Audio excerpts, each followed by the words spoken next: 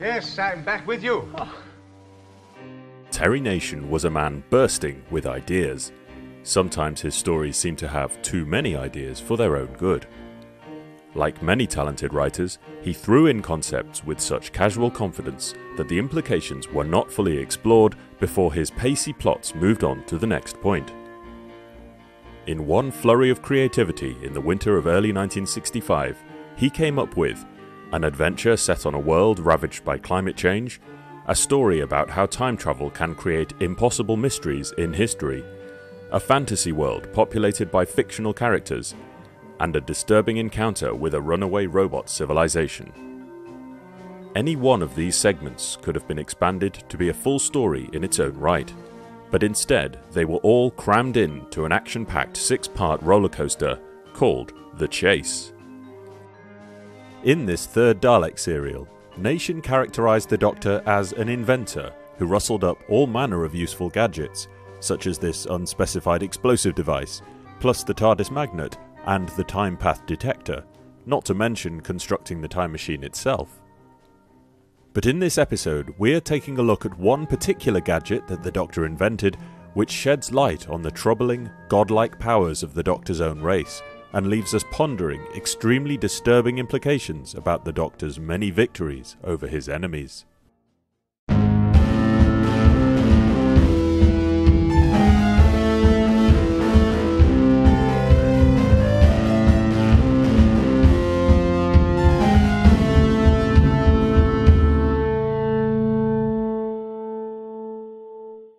If you'd like to support our research, contribute ideas, and see clips and early videos, then check out the link in the description on how to join our Patreon. The Chase introduces an impressive new gadget within the TARDIS. We would come to know this massive circular prop as the Time and Space Visualizer. In the broadcast episode, its place of manufacture is a mystery, and the Doctor is merely repairing it. However, in Terry Nation's original script, it's fairly clear that the Doctor has built the device himself to amuse his companions. This is how Terry Nation described the device in his draft script an apparatus sitting on a table based around a television, with adjacent speaker and control panel adorned with wires and electronics at the back and an array of aerials on top. After the Doctor presses a few buttons, the machine comes to life and an antenna rotates. Nation's original name for it as mentioned by the Doctor, is a time curve visiscope. The Doctor considers it a simple toy and explains that it converts neutrons of light energy into electrical impulses, the practical upshot of which is that it allows you to view the past. It's explained that with the visiscope, you can tune in to any event in history. As long as it's already happened, it can be shown on the screen. The crucial piece of dialogue in this early version of the script is that where the Doctor comes from, children made these things as a hobby. This snippet of dialogue about the race we later find out are called Time Lords would have constituted one of the earliest hints about the culture of the Doctor's people, that they consider peering through time to be literally child's play. Stop for a moment to consider the implications of such a device. This would create mind boggling privacy concerns. Not just in personal ways, but in the broader context of governmental control. If someone had the power to check what any individual had done at any point in their lives, then all forms of conspiracy would be futile, and control through espionage and blackmail could be absolute. It would also make any civilization an instant galactic superpower, since they could not only control through stealthy means, but they could repel any military onslaught by using the visiscope to eavesdrop on their enemies in the recent past determine their weaknesses, and pick up both technological and tactical advantages. This would be a much more insidious method than, for example, using a time machine to travel back to try to carry out a commando style mission to defeat their enemies before they arise, as this type of operation could be more easily detected and has the potential to be foiled. The Visiscope method would be undetectable.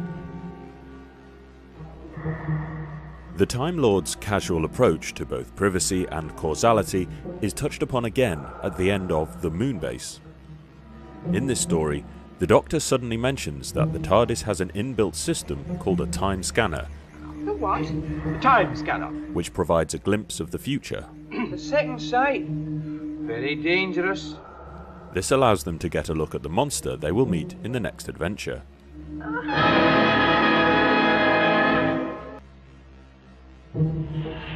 A similar function was shown in episode 1 of The Wheel in Space, where the TARDIS warns of impending danger after they've landed, and it subtly suggests they should take off again by showing tempting images of nicer places. What's going on? Oh dear. Those pictures aren't what's happening outside, I'm certain of that. Well, why do they keep appearing then? They're temptations. The TARDIS is trying to warn us to get away from here to somewhere more pleasant. I must have pushed the wrong switch. The red light stopped flashing. What? Something must be wrong. In later stories, it would become clear that the Time Lords do indeed seem to have Visiscope technology. The technician in the Three Doctors only has to press a button to see a moment in the Doctor's timeline. And in the Five Doctors, the technology behind the Time Scoop can clearly see any point in history as well as remove things from it. At the end of The Wheel in Space, the Doctor claims he's going to project his memories of a previous adventure onto the TARDIS screen and weave them into a story for Zoe. But the very first event we see on the screen is a scene which the Doctor never witnessed himself. This would appear to suggest that the Doctor is lying about how these images were collected, not from his memories at all, but perhaps using technology just like the Visiscope. There is another explanation as to where these pictures come from. Since the TARDIS had actually been somewhere nearby at the time of these events, perhaps it collected all the data that is shown to Zoe. Later, in the Trial of a Time Lord, it is confirmed that the Matrix on Gallifrey can indeed access the thoughts and memories of anyone in range of the collection field of a TARDIS. This is even more terrifying than just spying on you, as they can actually read your mind as well. Instant access to all historical information makes a mockery of the deadly assassin, in which we see the laborious process of highly fallible and subjective eyewitness testimony being used to try to determine events that recently took place. With all the technology at hand, it should be a simple matter to re-watch the events and see exactly what happened. Or indeed, just probe the Doctor's mind for the truth. Or simply look at the footage from one of the cameras.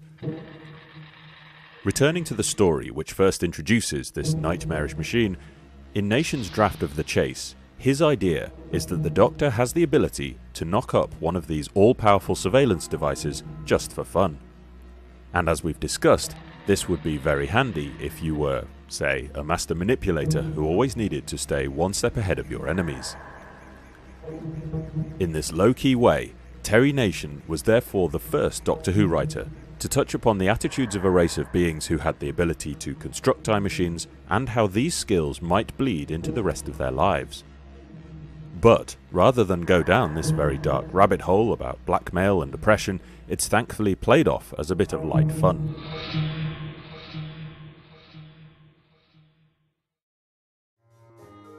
Ultimately, and sadly, this neat piece of backstory about the toys of the Time Tots was lost because story editor Dennis Spooner decided not to retain Nation's dialogue about them being children's playthings. Instead of the Doctor spontaneously inventing it at the start of the chase, it was decided that its origin would be explained at the end of the previous adventure, and it would also receive a name change too. Therefore, in the penultimate scene of the preceding The Space Museum, the Doctor says that he has been given a gift as a souvenir, called a time and space visualizer. The Doctor has seen them before, and its manufacturer is never stated, so it could arguably still be the product of the Doctor's own people. Although, how the prop would ultimately be realised for the production would cast doubt on this and raise more questions than answers. In his original script, as well as describing its overall appearance as something of a tabletop lash up, Nation also outlines the user interface. For the first historical event that they want to look at, the Doctor moves to the control panel, which has a long list of planet names, and uses a pointer to select Earth. It's interesting to wonder what Nation had in mind when he wrote there would be a long list of planet names. How many planets might this Visiscope have access to? Our galaxy alone, the Milky Way, has around 300 billion suns, and in the universe of Doctor Who, extraterrestrial life is commonplace.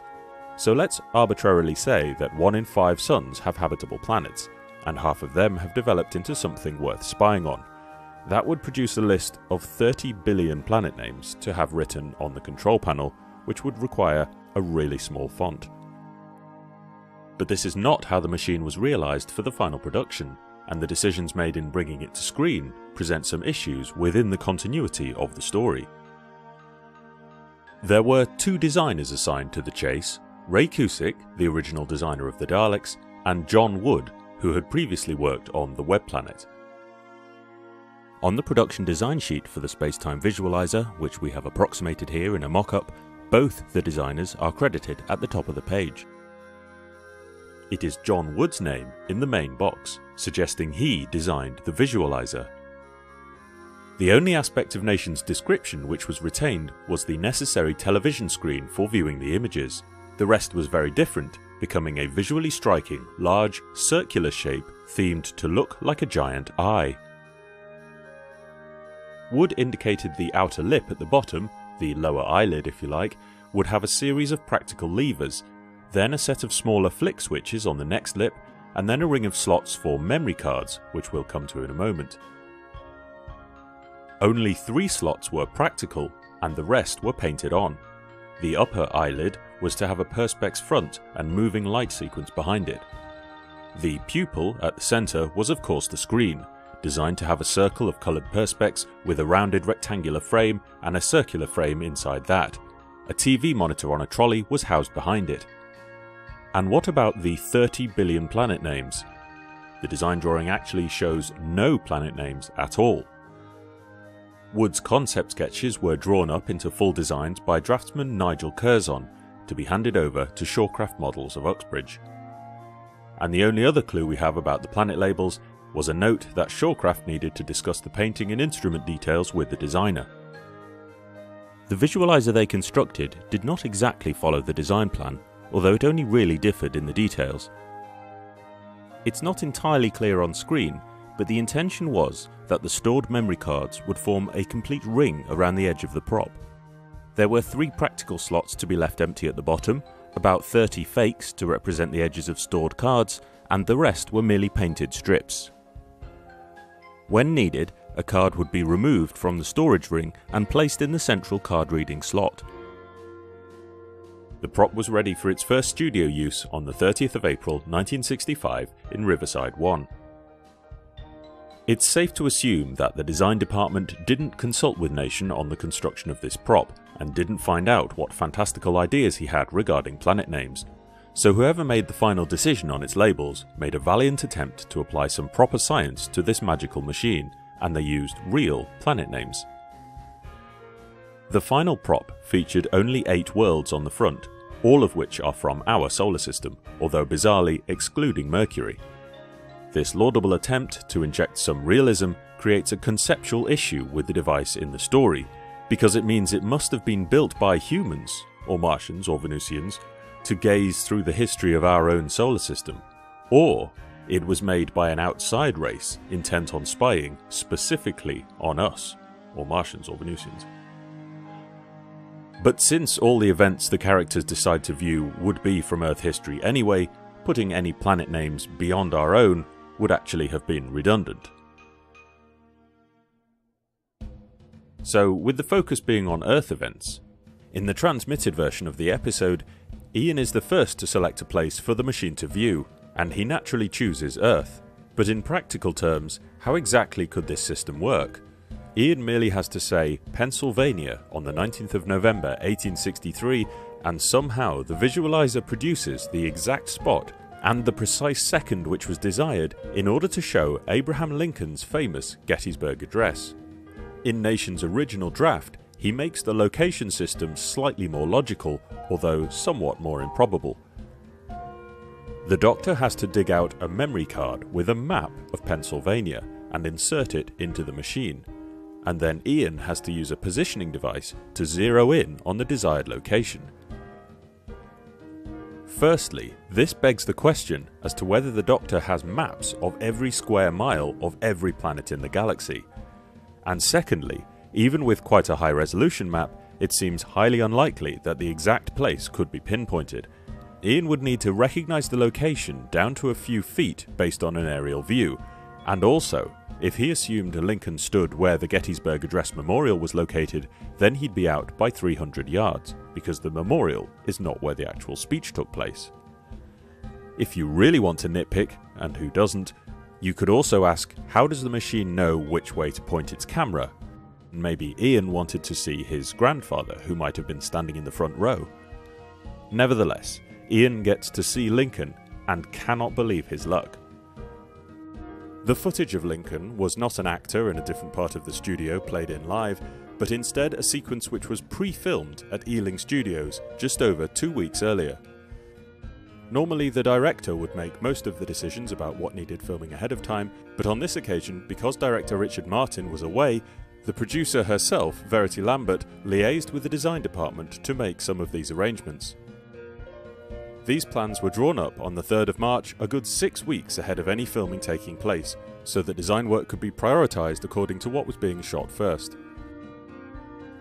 The next use of the machine differs between Nation's original draft and the broadcast version modified by Dennis Spooner. In Spooner's final version, Barbara wants to spy on Shakespeare meeting Queen Elizabeth I. This raises even more questions about how successfully you could ever locate a specific individual, since the whereabouts of these two at any given moment in history are not well documented, and in fact, there's no evidence that they ever even met but there's supposition that they crossed paths in the late 1590s when Shakespeare's troupe was popular at court. So, doing even better than Ian's success locating the Gettysburg Address, which had a known time and place, Barbara somehow manages to zero in on a private meeting between Her Majesty and the Bard. And she gets it right to the very moment because he leaves the location quickly afterwards. But in Nation's original draft, the achievement is even more extraordinary. In his version, Barbara went looking for a specific conversation and somehow found it. At the time of writing The Chase, there had been a resurgence in the conspiracy theory that Shakespeare didn't write the plays which bear his name, and that Francis Bacon was the true author. As if Bacon didn't have enough to do writing his own enormous body of scientific and philosophical work, he was also apparently secretly writing whimsical poetry about fairies and ghosts. In Nation's version of the Shakespeare scene, Barbara wanted to settle this question of authorship, and therefore she provides a time and place for the Visiscope to show a secret meeting between Shakespeare and Bacon. This is clearly even more impossible than locating a meeting between Shakespeare and the Queen. However, sure enough, the screen comes on, and in that exact moment, we see Shakespeare hand over a payment and Bacon hand over the manuscript for Hamlet although Shakespeare doesn't like the title and wants to call it The Blooded Dagger.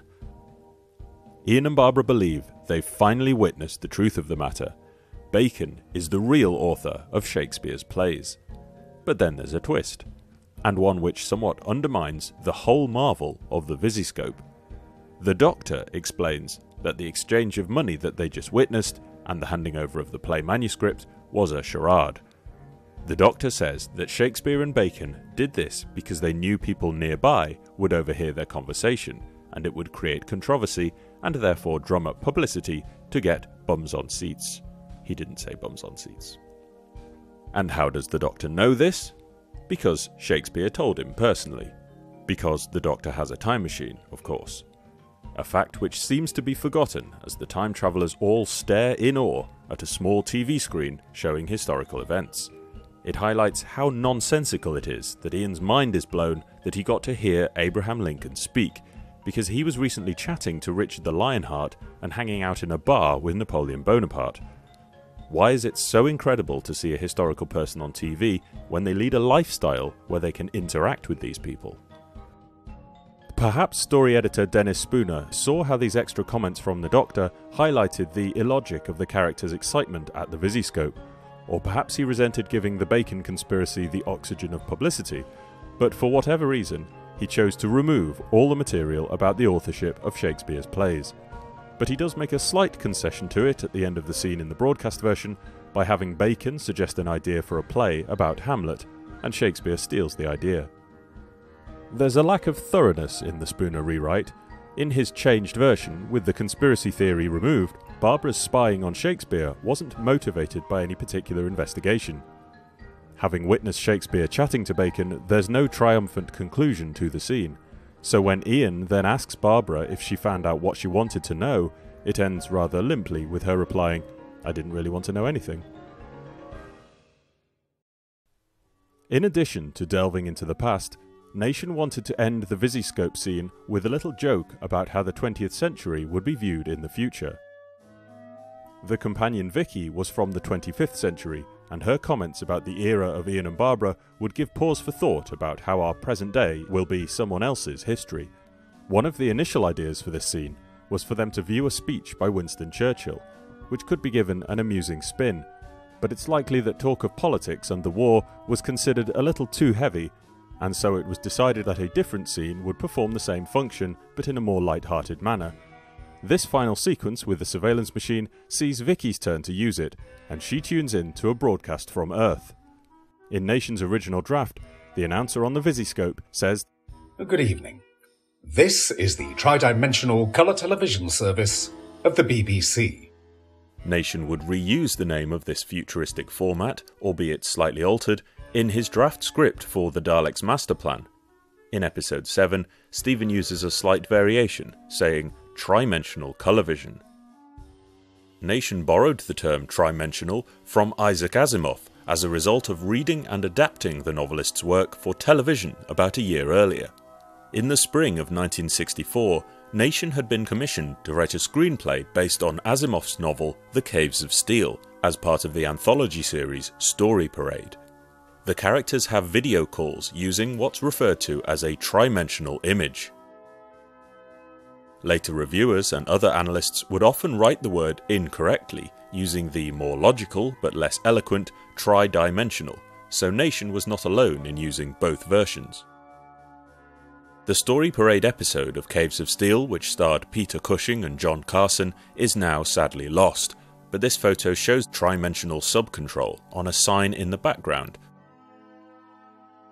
The screenplay for Caves of Steel was much on Nation's mind during 1965, and he even mentions it by name in his script for episode 1 of the Daleks Master Plan, in reference to the way the view screen should be realised. And here we get a third variation of the word trimencol vision. In his script, Nation suggests using a strobe light on a live actor situated behind the screen, which was the method used in the production of Caves of Steel to create a flickering hologram. This was not merely a trivial detail, but a plot point within Asimov's books, because there had to be a distinction between Earth's trimensional images and those of the technically superior colonies whose holograms are perfectly realistic. Notably, these colonies in Asimov's books are called the Outer Worlds, which is another term Nation borrowed for the Daleks' master plan, although it was later changed to the Outer Galaxies. But that's a topic for a forthcoming video. The trimensional term, borrowed from Asimov, was removed from the scripts of both The Chase and the Daleks' master plan before the final version, perhaps because of potential copyright issues. But cutting back to The Chase and the tri-dimensional colour vision of Nation's draft, the TARDIS crew are viewing the year 1994, and the announcer reveals their guests tonight are the Beatles. Four very old men with white Beatles haircuts and beards start to play. Although Nation's draft doesn't make clear whether he expected to secure the real Beatles or if he was imagining it would be four elderly actors, the production team did subsequently have hopes that the band would be available to appear in person. Verity Lambert drew up a filming schedule on the 3rd of March, which included a Beatles sequence being shot specially for the chase, with the band standing in front of a plain background. But at some point over the following month, these hopes evaporated, according to legend because of Brian Epstein's intervention.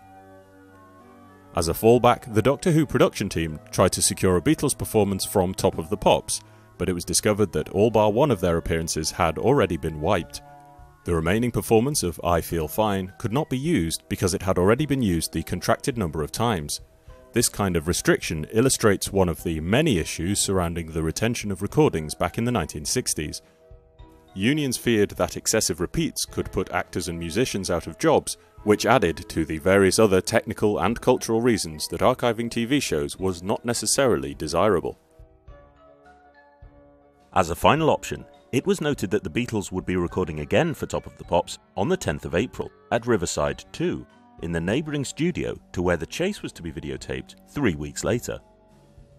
Ultimately, this would indeed be the material that was used, after Brian Epstein's agreement, of course. The earliest material shot specifically for the chase was captured at Camber Sands, as detailed in our earliest video. So this footage on the sand dunes was captured the day before this Beatles performance. And a couple of days after the Beatles sang their new single, Ticket to Ride, at Riverside, Abraham Lincoln's speech was filmed at Ealing. After their pre-recorded appearance on Top of the Pops, the videotapes were wiped as usual for reuse. Ironically, the use of this clip in Doctor Who meant that for many years this material was the only surviving footage of the Beatles performing on Top of the Pops. Following the delight at seeing this classical music performance, the time travellers are distracted from the time-space visualizer because the TARDIS has landed. Vicky and Ian go off to explore, leaving Barbara and the Doctor to sunbathe. And when Barbara goes back into the ship, the visualizer provides a new image Daleks in a control room. As mentioned, the space-time visualizer prop used in Studio only has settings which allowed for visualization of 8 locations in our solar system. So where is this meant to be? If the controls on the front show only places on which the machine can focus, then the Daleks must logically be operating from a secret base inside our solar system. But it's safe to assume the intention in this scene is actually that the Daleks are on their home planet, and this inconsistency is the result of the design of the machine. As to whose fault that was, perhaps Nation was a little short sighted to specify in his script that there should be a long list of planet names without actually providing them, leaving the BBC design department to dig out whatever books they could find to help them realise the interface of this fantastical machine. As Barbara and the Doctor spy on the Daleks, we see that the Daleks have their own remote viewing system and they are spying on the TARDIS. Which brings us to the true function of the space-time visualizer within the storyline to forewarn our heroes of the impending threat that they face and significantly increase the tension. The screen shows that the Daleks now have a time machine of their own and intend to hunt down the Doctor. Nation's inspired concept of a time television not only introduced the danger at the start of the story, but it was also used to bookend the events in episode 6. On the 4th of June, the cumbersome prop was wheeled back into studio for the coda in which the Doctor and Vicky watch Ian and Barbara restart their lives on Earth. A happy moment to behold, as long as you don't think too hard about the Doctor being able to tune in and spy on you anytime he likes.